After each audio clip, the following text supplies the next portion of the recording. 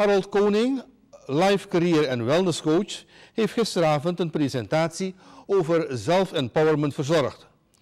De presentatie was bestemd voor studenten van de studierichting Sociaal-Cultureel Vormingswerk, SUCUVO, van de AHKCO.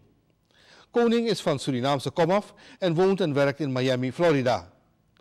Op uitnodiging van het CIVIS verzorgt hij vaak lezingen in Suriname. De presentatie voor de SOCUVO-studenten was in het kader van het, van het vak groepsdynamiek. Groepsdynamica, zegt docent Victor Jones. Volgens hem is het belangrijk dat studenten leren om te werken aan zelfzorg.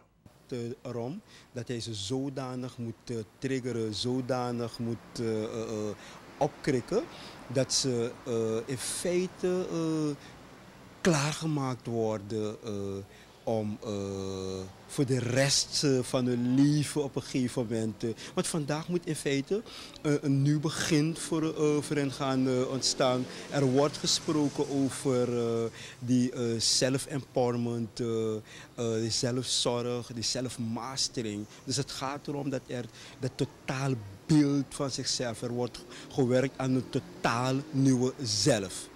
Victor Jones, docent groepsdynamica aan de Academie voor Hogere Kunst en Cultuuronderwijs.